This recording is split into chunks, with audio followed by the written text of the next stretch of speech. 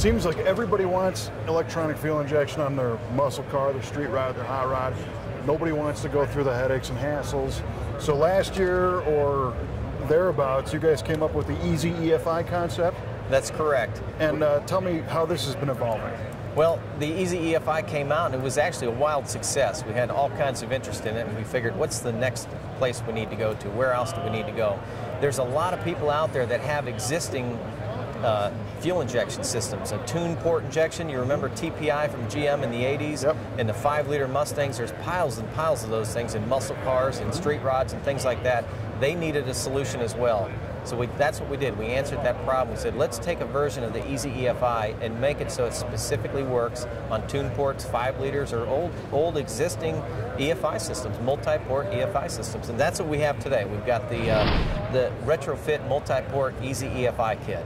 Okay, so the need comes in because, say for example, you've got a, an 87 Mustang, right, with a, an EEC 450, or yeah, an EEC 450 Yes. system. That's a pretty basic system that is kind of tricky to tune. It doesn't have wideband O2, right? Doesn't offer today's features. But you're telling me now you could upgrade to the EZ-EFI brain uh, and ECM, use the existing harness. No, this includes a new harness. Okay. A wiring harness from the 80s transplanted today is a bad idea because all that stuff is brittle, it breaks, wires are, are, are Sure. you know, in, in poor form. So all you need now is just take the, the tuned port hardware, the actual intake manifold itself, Okay. or the five liter uh, hockey stick style in, intake, Yep. and you throw away all the existing computer and harness. You Gotcha. plug in this new harness, this new ECU, and it sets up and tunes on its own. Awesome. So if you're retrofitting this, there's no more burning chips, getting custom tunes, chasing any of that stuff down, dealing with old wiring harnesses. Plus, when you modify those engines, you don't have to worry about retuning or getting another chip or, or redoing it again because this is a self-tuning system. That is awesome. So now I don't have to screw with any of my hard parts. I just uh, change the sensors probably, maybe add that wideband O2, right? Because this has that capability. This includes the O2 and it actually works with the existing GM sensors or the Ford sensors. Or you can retrofit in new, new fast sensors.